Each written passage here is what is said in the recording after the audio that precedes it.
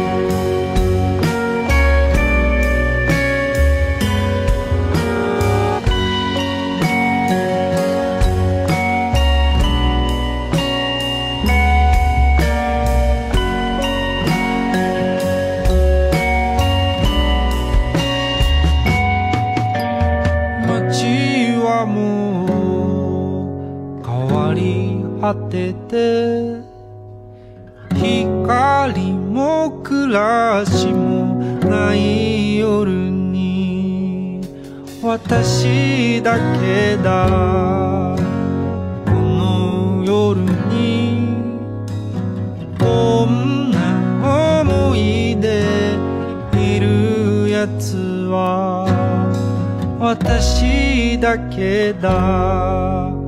この街でこんな思いをしてるやつは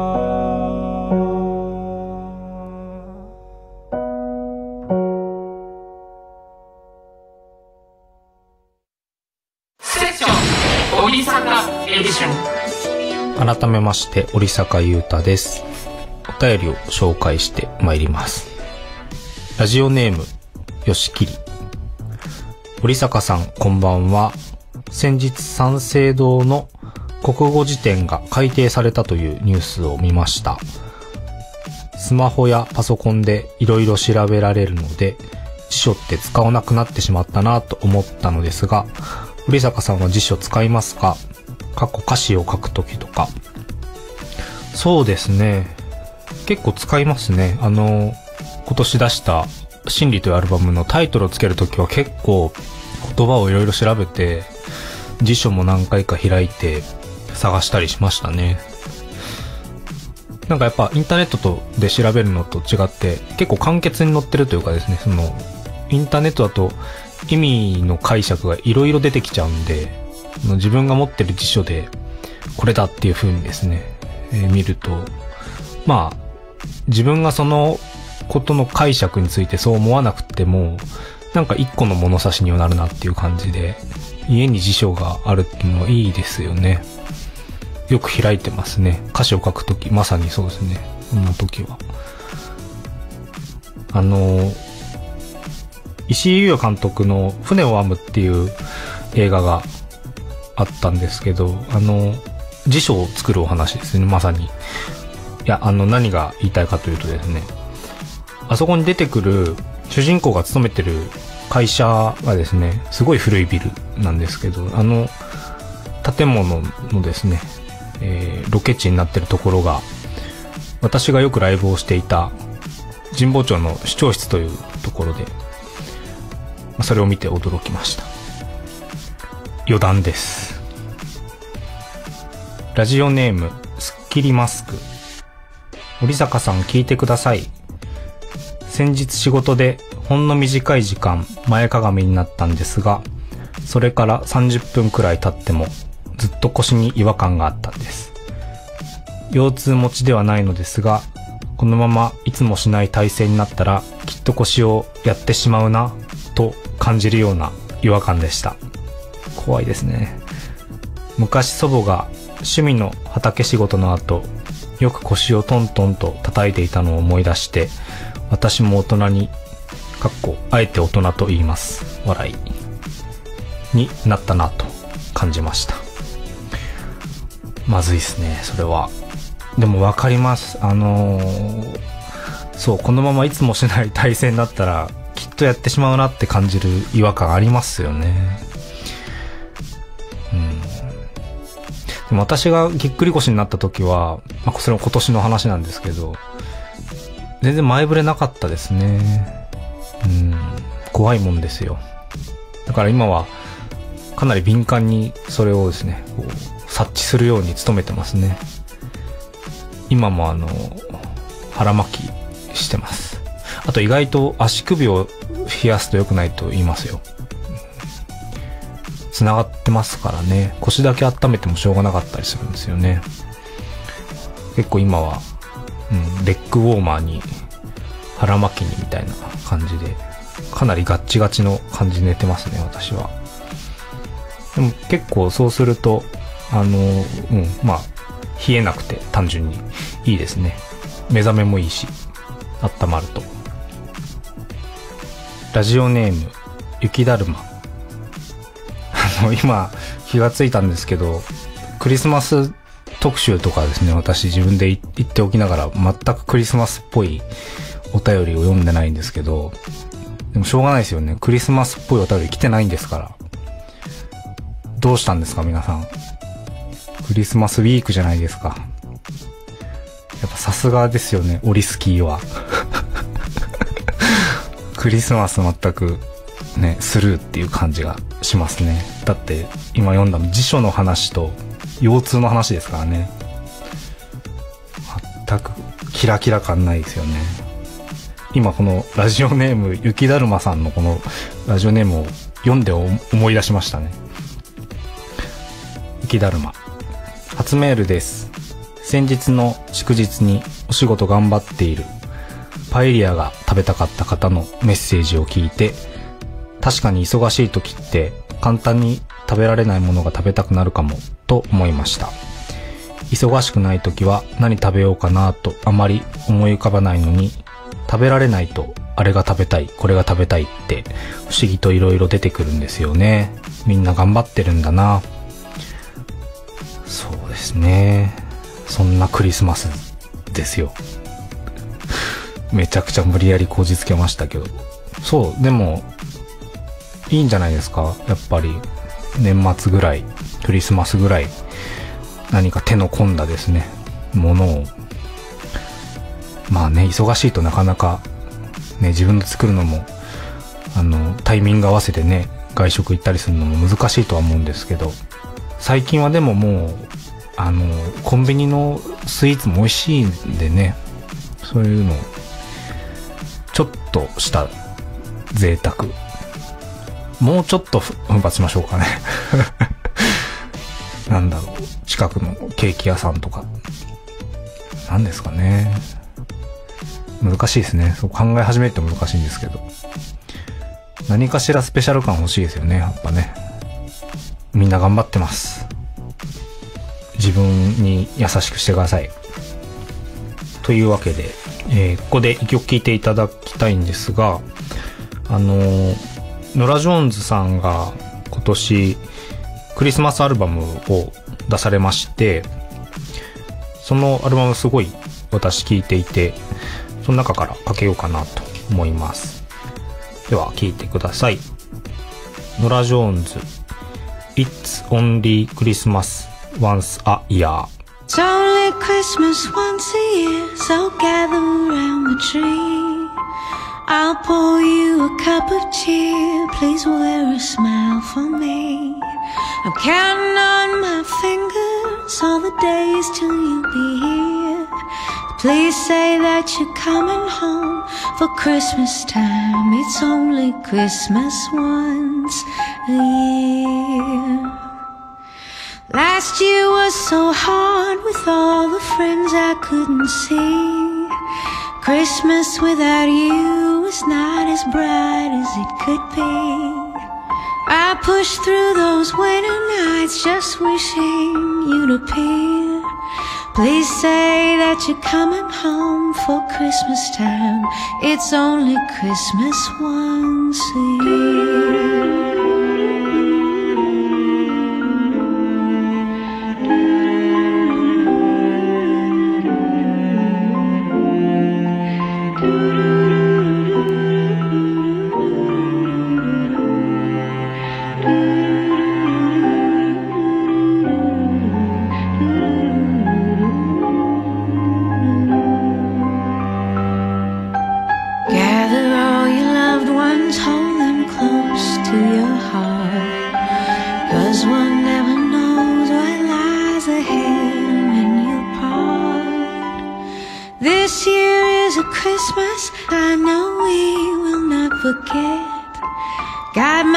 light held up and all my decorations said, Try not to get my hopes too high and shed no tears.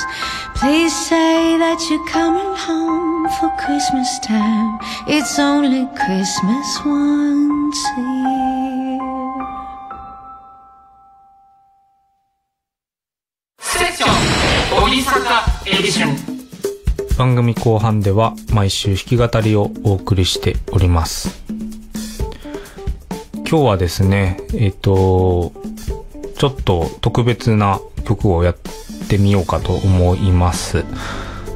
クリスマスタイム is here という曲があって大好きなんですけど、それにちょっと日本語詞をつけて、えーやってみようかなと思います。この曲は、えーヴィンス・ガラルディという人が、チャーリー・ブラウンのクリスマスというアニメーション映画につけたサウンドトラックの中に入っている曲で、えーこのアルバムが本当に素晴らしくって、これも最近よく聴いているんですけど、その中の一曲から、ちょっと私なりに解釈という感じでやってみようかと思います。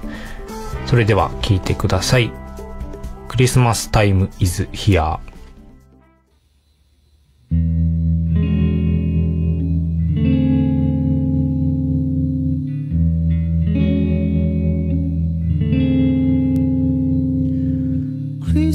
ス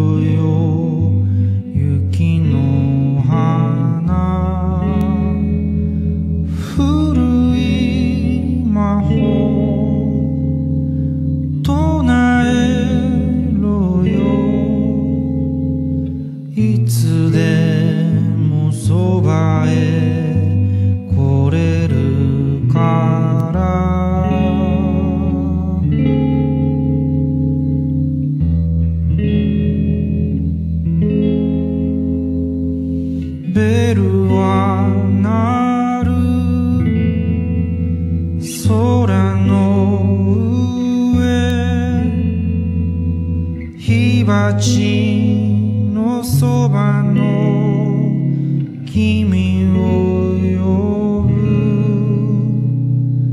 クリ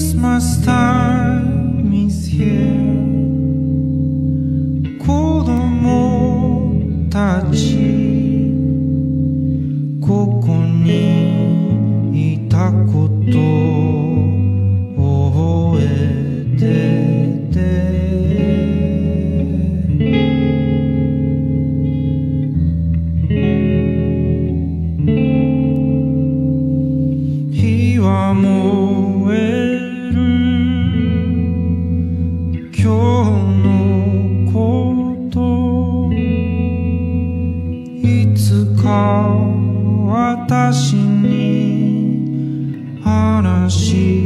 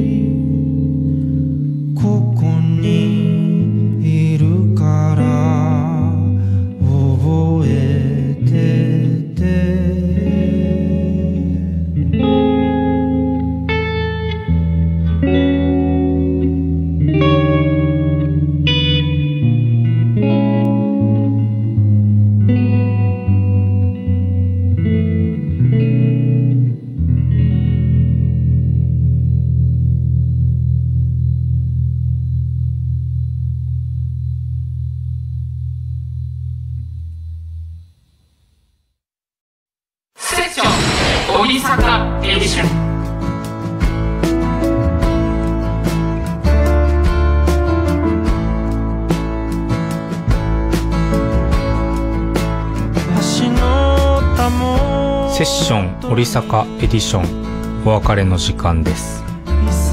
ツアー千秋楽東京の模様が、えー来年2月にですね、ワウワウで放送されます。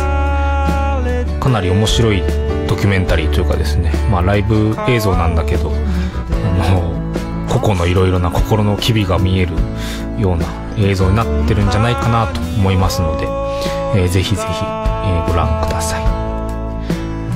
来年1月16日日曜日静岡で開催の朝霧ジャムに出演いたします。こちらもえーツアーメンバー重曹メンバーでですね行きますので、えーぜひぜひ楽しみにしていてください。皆さんからのメッセージはデート FM ホームページのリクエストからこの番組を選択して送ってください。お待ちしております。明日のこの時間はワトウィンの皆さんが担当します。それではまた来週。皆様良いクリスマスを。ここまでのお相手は織坂優太でした。This program was brought to you by 公式アプリでチケット購入をもっと早く。チケットピア